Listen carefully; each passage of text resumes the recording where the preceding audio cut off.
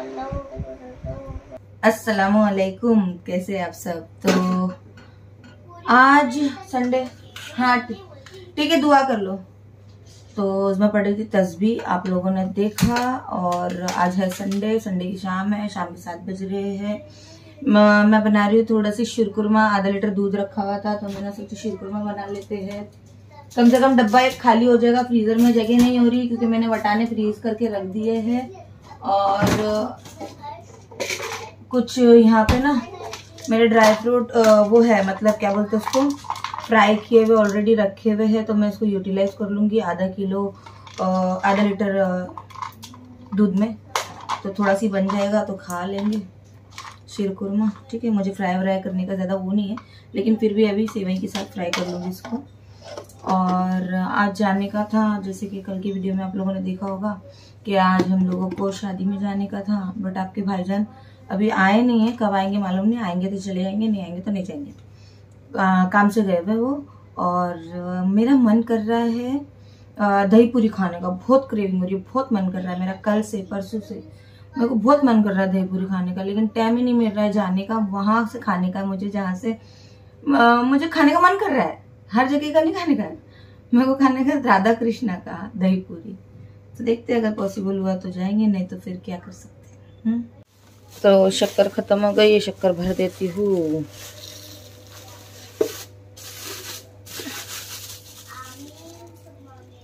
देखिए, इसमें चारोली भी है, काजू भी है, बादाम भी है, पिस्ता भी है। इसको मैं अभी घी में थोड़ा सी हल्का फ्राई करूँगी, थोड़ा ब्राउन करूँगी। तो ये ले लिया मैंने घी। अभी आधा लीटर दूध है, इतना सी है तो फिर अभी आप लोग सोच ही सकते हैं कि ज़्यादा घी भी नहीं ऐड करने वाली हूँ ठीक है। इसको पकने देंगे दूध को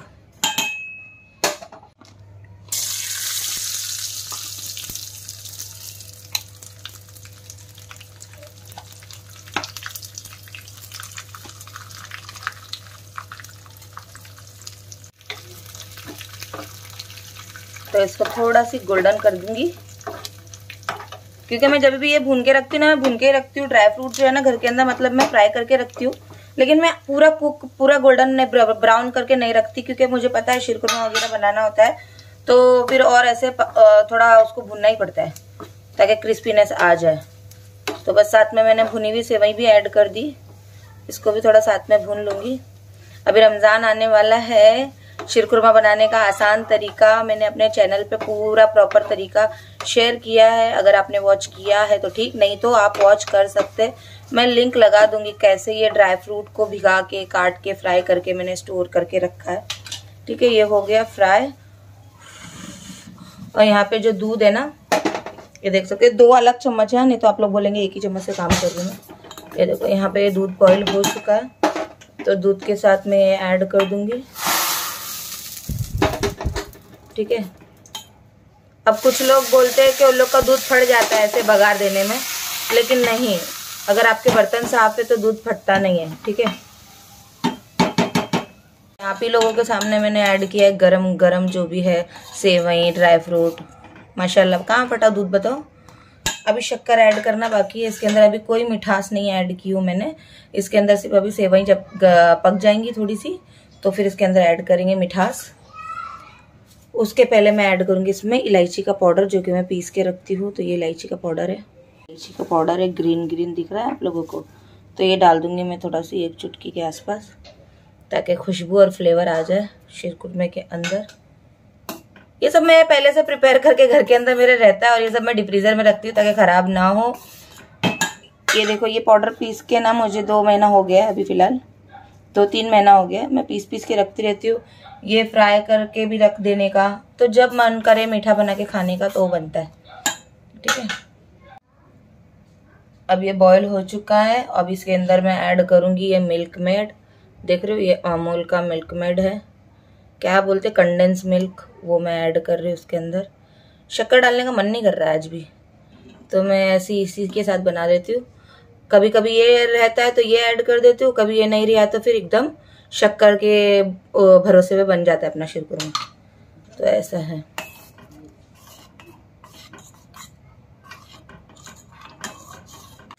ये देखो उसका कलर कैसा बदल गया ना अभी, माशाल्लाह। अब इसको एक दो मिनट में ऐसे ही छोड़ दूँगी पकने के लिए स्लो आँच पे। और फिर बस हो गया, ये रेडी हो गया। ओके और देखो मैंने कितना इसके अंदर ये कंडेंस मिल्क यूज़ किया। आधे डब्बे से थोड़ा सी ज़्यादा यूज़ किया, बाकी रख दूँगी उठा के। क्योंकि वो हो गया मीठा। ठीक है? एक लीटर दूध होता था तो पूरा डब्बा ऐड करती थी और थोड़ी सी चीनी भी ऐड करती थी। पर दूध ही आधा लीटर था तो। सो मैं पका के आके यहाँ पे बैठ गई हूँ। ठंडा होने के बाद थोड़ा आराम से निकाल के खाएँगे। अभी बहुत ज़्यादा गर्म गर्म है। हाँ मम्मा, क्या कर रही है? क्या? अकेले बैठ के खेल रही हूँ। कितने एक दो तीन चार खेलो खेलो। तो ये, चलो आइए, आप लोग भी खाने के लिए आइए। हम लोग तो जा रहे खाने। चल बेटा, वहाँ चल। दही पूरी खाने का मन कर रहा है और खा रही सिर कुरमा वाह वाह वाह बेटे, वाह। मुझ कर दी। आजा साथ में अब्बा भी नहीं आया। क्या? शादी में भी नहीं कर अब्बा भी नहीं आया। रात हो गई? हम्म। ले। कैसन बा? तो जाना था। मैंने तुमको शिरकुरमा खिलाया तुमने बताया नहीं कैसा बना। अच्छा बना। अभी हो रही है रात। रात बोले तो पौने आठ। ठीक है? रात बोले तो पौने आठ। तो अभी उसमें कंफ्यूज है कि उसको करना क्या है क्योंकि टाइम धीरे धीरे निकलते जा रहा है। अगर इसके अब्बा आएँगे साढ़े आठ पौने नौ बजे भी आए समझो। साढ़े आठ बजे आए या पौने नौ बजे आए तो भी ये कोई भी एक चीज़ कर सकती है या तो दोनों दो ऑप्शन में से एक नानी का जाना या शादी में जाना। हम्म। तो, तो कौन सा ऑप्शन चूज़ करो यही नहीं समझ आता अम्मी से ही पूछ रही हूँ कि अम्मी आप भी लेकर जाओ शादी में या नानी के वहाँ आपके मर्ज़ी से। अभी दोनों में से देख ते, तेरी मर्ज़ी है भाई क्योंकि ना इसकी एक आदत है। एक दो चीज़ बोले तो दोनों चीज़ करना। वो एक चीज़ किए तो रात को सोने के टाइम पे परेशान कर डालेगी दूसरी चीज़ के बारे में पूछ पूछ के। तो खुद ही डिसाइड कर दोनों में से क्या करने का। को है कि आप देख नानी की तरफ़ तो तू आती जाती रहती है। शादी में कभी कभी जाते हैं। तो खुद ही डिसाइड कर। शादी में तो खाना खाने के लिए जाता है अभी तो बताया। तो फिर क्या करने का है? तू दोनों तरफ़ से बोलेगी तो कैसे चलेगा? शादी में तो तैयार हो गया खाना खाने के लिए ही जाते हैं बात तो सही है। और साथ में नानी के बाद तो अपन हर संडे जाते हैं। और वो बात अलग है कि हम लोग तो खाना खाना मैं तो ज़्यादातर हम लोग है ना बिना खाना खाए के आ जाते हैं। क्योंकि मेरे को ना सही बोलूँ ना वो बहुत अजीब लगता है वो आजकल टेबल के पीछे लाइन लगाना शादियों में। और पहले लगाने में कुछ नहीं अजीब नहीं लगता था। अब अजीब क्यों लगता पता है? अजीब इसलिए लगता है खाने के टेबल के पीछे लाइन लगा ले खाने के लिए और सब्सक्राइबर आके बात कर। अरे आप नाजे सीखे ना? अभी नाजे सीखे ना? लोग घूरते रहते। क्योंकि शादी में बहुत सारे लोग आते बहुत सारे लोग वो भी आते जो अपने को प्यार करते जो अपने को देखते जो अपने को वॉच करते तो वो अपने को दूर दूर से ना घूरते रहते हैं। देखते रहते। जो आके बात कर लिए तो ठीक है हाय हिचकिचाहट खत्म हो जाती है। जो लोग बात नहीं करते और दूर दूर से खड़े रह के देखते रहते ना देखते रहते ना तो एकदम ऑकवर्ड फील होता है फिर वो टेबल के पास से हट जाती हूँ मैं। नहीं हो रहा भाई खाने के लिए नहीं हो रहा चलो घर पे जाके खाएँगे ऐसा होता है। क्या करना? अम्मी नानी के अपन हर संडे जाता है और शादी में सब खाना खाने के लिए जाता है। आपने पहले ही बता दिया। तो क्या अपन दोनों नहीं जाए क्या? क्या? क्या अपन दोनों नहीं जाए क्या? हाँ, तू डिसाइड कर भाई मेरा बहुत हाथ दुख रहा है उसमें। डिसाइड कर और बता जल्दी से क्या करूँ मैं तैयार हूँ कि नहीं हूँ? क्योंकि अगर शादी में है ये। देखते हैं। हम्म, नानी देखो देखो क्या बोली? इधर एक जगह खड़े रहे बात नानी के जाते हैं नानी। कोई भी एक चीज़ डिसाइड करना माँ पाँच मिनट ले ले तू दस मिनट ले ले डिसाइड कर। जा। नानी क्या सो so, फाइनली आपके भाईजान आ गए हैं और पानी आ रहा है इसलिए वेट कर रहे हैं। पानी जरा चालू है। पाँच मिनट में पानी भर जाएगा तो निकलेंगे। मैं ज़्यादा तैयार व्यार नहीं हुई। मैं एकदम नॉर्मल मेरे घर को तैयार कर अभी मैं फ़िलहाल नॉर्मल ही थोड़ी सी लिपस्टिक लगाई हूँ बाकी और कुछ नहीं की। अभी सबसे पहले हम लोग जा रहे हैं भाई दही पूरी खाने के लिए। मैं दही पूरी खा के ही रहूँगी आज। ये तिरंगा बना के गए हाँ ना बात करने देना। क्योंकि मेरे पास एक ही ऑप्शन है उस्मा के पास दो दो ऑप्शन है। अगर दही पूरी खा के अगर लेट वेट होता है अगर डिसाइड नहीं कर पाए तो शादी में ना जाते हुए वो नानी के पास जा सकती है।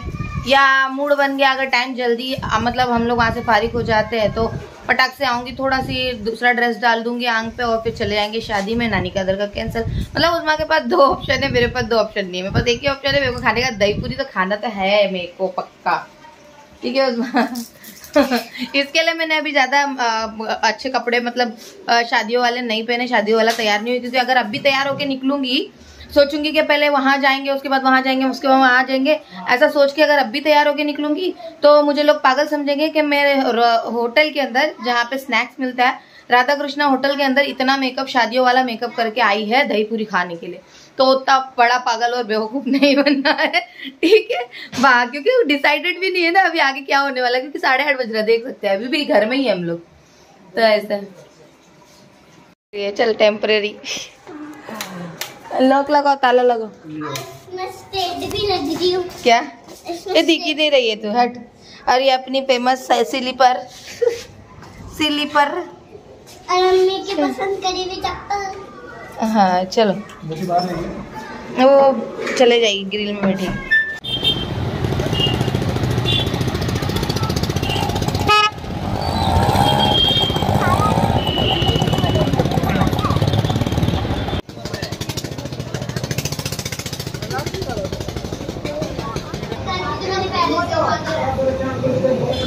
बैठना मेरे बाजू में बैठेगी। बाजू में बैठेगी।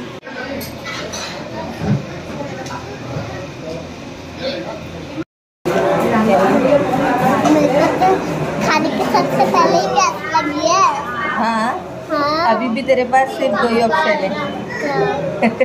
क्या ऑप्शन वही जो मैंने घर पे पूछा। शादी या तो नानी तो फिर अपन एक दो ठंडा पाएँगे ना सोचा अभी भी सोचा खाने तक के सोच। लेकिन फटाफट खाना नहीं तो अगर खाना अगर लेट हुआ ना तो फिर दोनों ऑप्शन कैंसल चोकड़ी चोकड़ी। पर अपन मेरे को कुछ समझ नहीं आ रहा नानी के यहाँ हर संडे जाते हैं और शादी में ना अभी खाने को जाएँगे। तो क्या अपन समोसा खाते हाँ। फिर अपन घर पे जाएँगे। थोड़ा दस मिनट आराम करेंगे तैयार होंगे फिर शादी में जाएँगे। शादी में मम्मी ने बोले ना खाने के लिए जाना तो शादी में और क्या करने जाते खाने के लिए जाते इतना तैयार होगी शादी में दूल्हा दुल्हन से मिलते हैं फ़ोटो खिंचाते और खा के आते हैं। लेकिन तुमको मज़ा आता है खेलने में बराबर है? अभी किसके साथ खेलेंगे शादी में तुम मेरे को ये बताओ वहाँ पे खिलौना थोड़ी ना झूला थोड़ी ना जो तुम खेलेंगे? तो ये देखो शादी में ये खिलौना लेके जाएगी। आप लोगों को पता होगा मैं शादी शादी में ना मतलब बहुत टाइम के बाद जा रही पहले अपन बात करते हैं। एक तो दही पूरी की वजह से उसका मूड खराब है। कि तुमको दही पूरी खाना इतना ज़रूरी है क्या? अरे हाँ ज़रूरी आज खाना खाने का मन नहीं कर रहा था। पता है मेरा आप लोगों को, मैंने ना वो जो आप लोगों के सामने अभी शीर खुरमा खाई ना, वही खाई दोपहर तो मैंने कुछ नहीं खाया, क्योंकि मेरे को दही पूरी खाना है मतलब खाना है। दो दिन से मैं सबर कर रही हूँ। मुझे नींद ही नहीं लगती है। आ गई दही भाई थोड़ी सी मीठी चटनी एक्स्ट्रा लेके आओ ना दही पूरी के लिए। और खाने के लिए।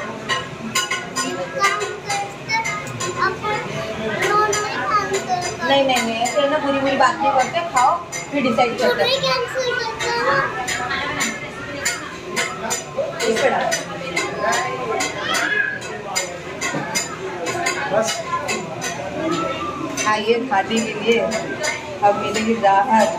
खैर से मैं तो आओ शर्मा भी मैं नहीं खाती थी लेकिन फिर बाद में बहुत ज़्यादा भूख लग रही थी। इसलिए खाना खाने का मन नहीं कर रहा था वो बना लेती हूँ।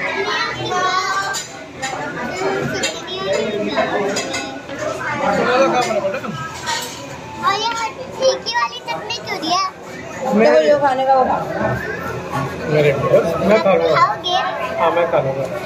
खा ले बड़ा बड़ा तू साथ में तेरा खा ली माँ। हो गया खा के।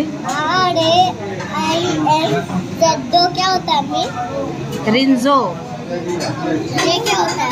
अब तुम खा तुम पानी पी के हो गया तो डक्कर लगाओ। रेंजो क्या होता है घर पे बता दी घर पे बता नाम दी बेटा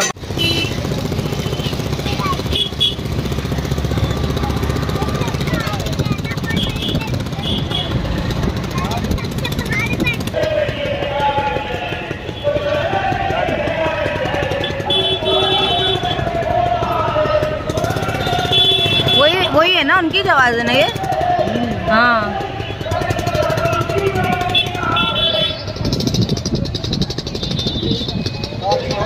किस मुद्दे पे? कुछ मालूम कुछ मालूम है मुद्दा क्या?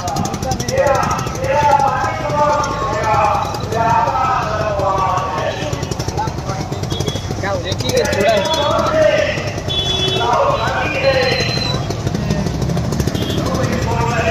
चलो अपने बोल रहे हैं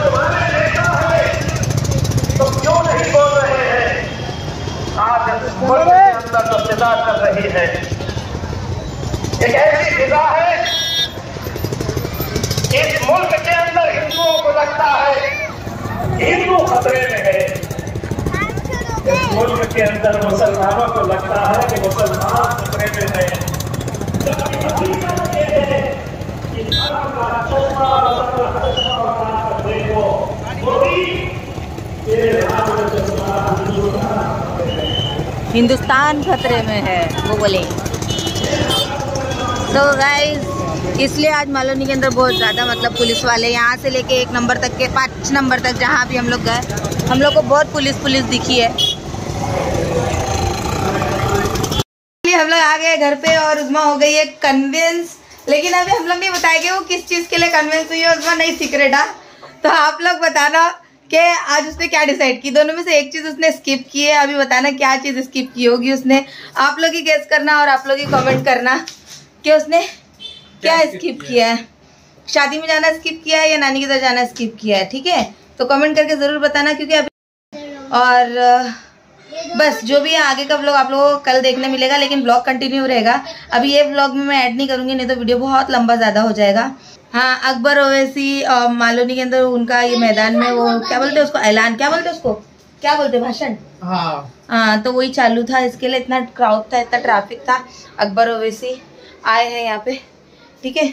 चलिए कोई नहीं अल्लाह हाफिज आप लोग अपना ख्याल रखना अपनी दुआओं में याद रखना।